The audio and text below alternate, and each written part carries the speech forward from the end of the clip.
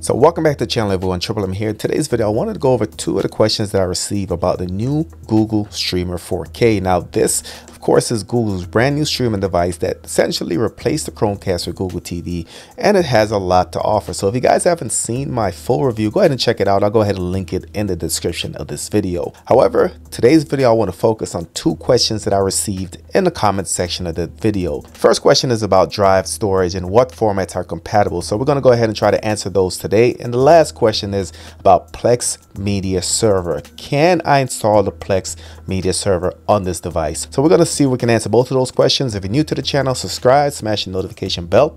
Let's go.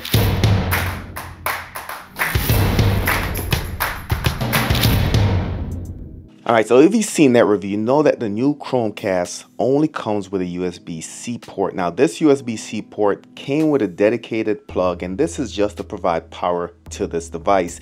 But if you watch that video, you know that you can use an OTG adapter to add additional options for your device. And with this OTG adapter, you'll be able to add storage, you'll be able to add USB drives, whatever use you might have for a USB port, that's going to become available. So Basically, this is an OTG adapter, USB-C version. We've used these for years on the Fire TV stick, but we do have the C version that will work the same on your new Google TV. So how this works, we're gonna have a USB plug. This is gonna go into the device like this. On the other end, we're to have two USB ports. So one is to be USB-C and one is to be USB-A. So the original plug that came with the device, you'll plug it in here to provide power. So that will free up this guy. And with this, you should be able to add your storage directly. For today's test, I do have two different storage options just to kind of see if there's any differences between the formats. I have a USB drive, 32 gigs, and I have a 256 SSD. For the SSD, we're to be trying three different file formats. NTFS, exFAT, as well as REFS. For the USB drive, we're going to be trying FAT32, NTFS, and exFAT. Each time I'm going to use the same device. That way there's no discrepancies. I'm going to format it every time to a different file format, add some files on there, and see how the device reacts to it. So let's go ahead and switch over to the monitor. So I do recommend getting an additional file explorer for your device. For me, I really love File Manager Plus. I've been using it for a couple weeks now, and I did a video on just some of the capabilities. You, can set up an FTP server with File Manager Plus. And I, I like how everything is right there pretty easy to understand. So you can see my main storage and some other other breakdowns, but main storage is there. When I plug in the USBs, we should be able to tell whether it recognizes them or not. So first thing, let me switch over to the PC. So the first thing we're going to try is the test USB. So uh, test USB, we, like I said before, we have three formatting options. We have FAT32, which is currently formatted as. We also have NTFS and exFAT. It's currently FAT32, so we're going to plug it into a device and see if it recognizes it. All right, so you can see um, it is recognizing, you can see it pops right up, USB storage. Click on it, you can see all the devices in here.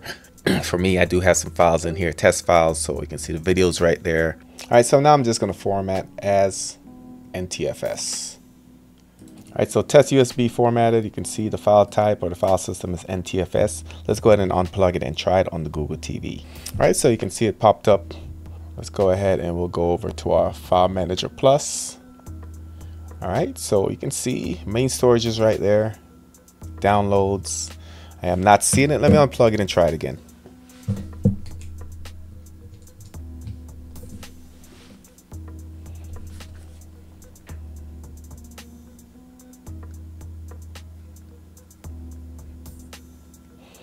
All right, so you can see nothing right there for NTFS. If I go over to my settings, go to my storage. All right. So you can see it is showing it, but it's not accessible.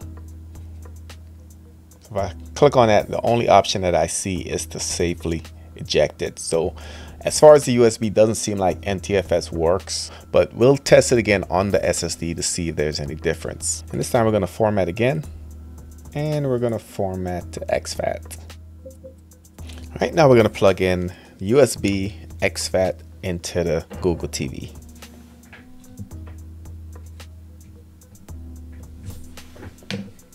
All right, so it did recognize it. I click on it, go home. USB does show up. And I'm able to get to all the files. So, so far on the USB, FAT32 and exFAT works, NTFS does not.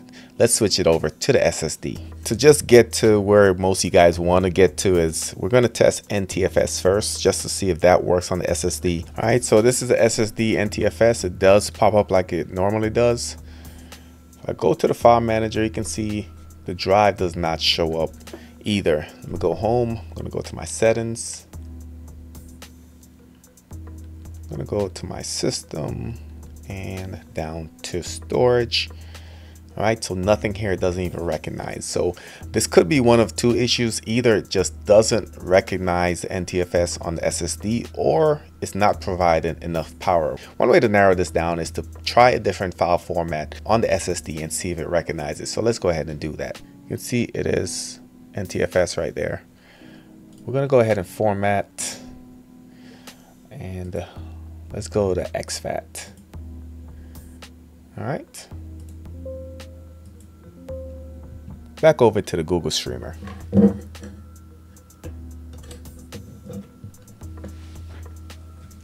All right, so it pops up once again.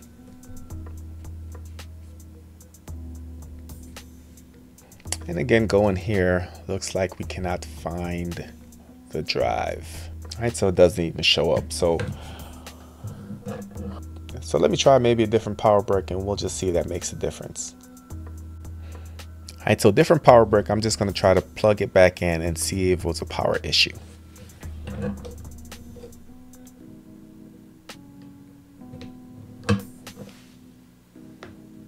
All right, so popped up like it did before.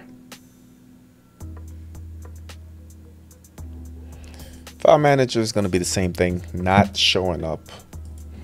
All right, so I just plugged in my uh, a hard drive enclosure. This is gonna have its own power. So it shouldn't be taking much from the OTG adapter. Uh, it's a couple terabytes, so we'll see how that works. So I click on it, um, still nothing there. So here, last ditch effort, I do have a micro SD card and this is inserted into a USB hub. So um, I'll, I'll put a picture of what it looks like. Uh, they find these easily, but it's uh, micro SD to USB.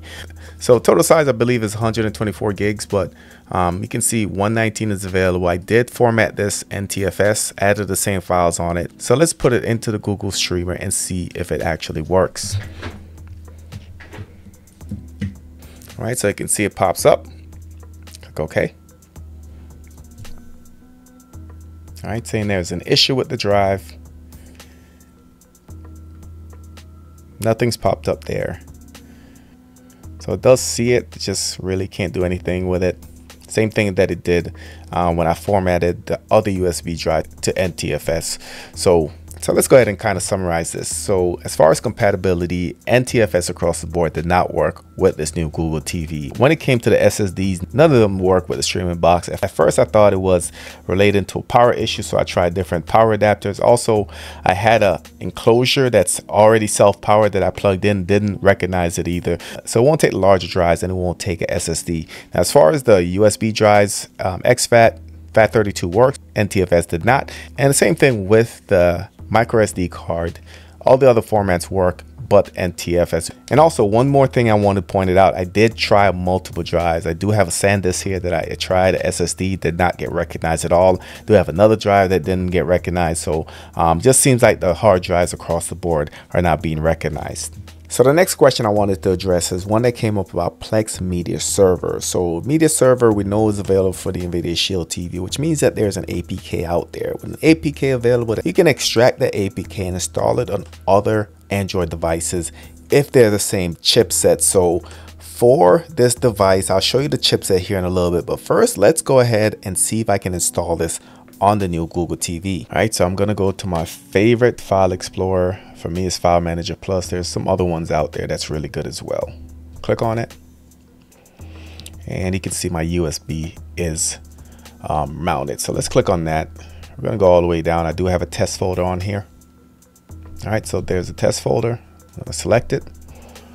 And if I scroll down, you can see there's a Plex Media Server APK. Um, this does require your system to be a 64-bit system, which this is, even though it's running 32 bits. We'll see if we're able to install it. So we're going to click on it.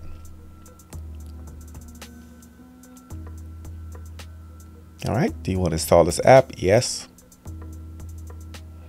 You can see it tells you that this isn't compatible with your TV. So the reason that failed is because in order to have Plex Media Server installed, your system needs to be a 64-bit system. If you guys seen the initial review when I went to AIDA64, I go down to CPU, you can see the right that the chipset is 64-bit. However, it is running 32-bit mode, which means that a 64-bit application is not going to be compatible. So unfortunately, guys, no Plex server on this. However, you can still install the client app and it should still be able to run normally.